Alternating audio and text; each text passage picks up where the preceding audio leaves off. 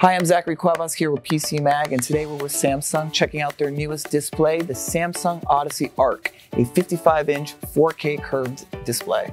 Samsung stole the show at this year's CES with the debut of the Samsung Odyssey Ark, and for good reason. At 55 inches with a 165 Hz refresh rate and 1 millisecond response time, the 4K's display delicate 1000 millimeter curve offers a ton of screen real estate and bridges together many of the bells and whistles you'd find in both their gaming and TV monitors.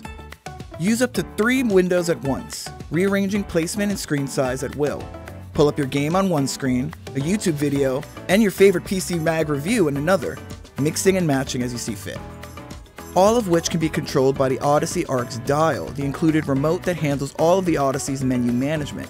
And not to worry, if the rotating wheel's too much for you, the trusty Samsung Universal Remote is also included. The Odyssey Ark features four speakers and two woofers that offer high quality booming sound quality thanks to Dolby Atmos. Split the audio between two screens, or go all in on one game or movie for a genuine home theater experience.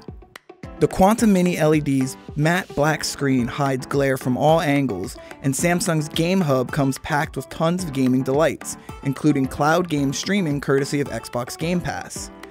But the coolest feature might just be rotated into cockpit mode.